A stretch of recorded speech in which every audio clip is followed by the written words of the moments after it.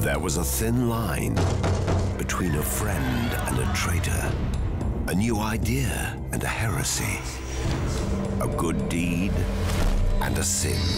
One third of the entire population was accused of heresy and witchcraft by the other two thirds. It really was a people living in fear. What would you be guilty of? The Inquisition, premiere Tuesday, the 2nd of September on Viasat History.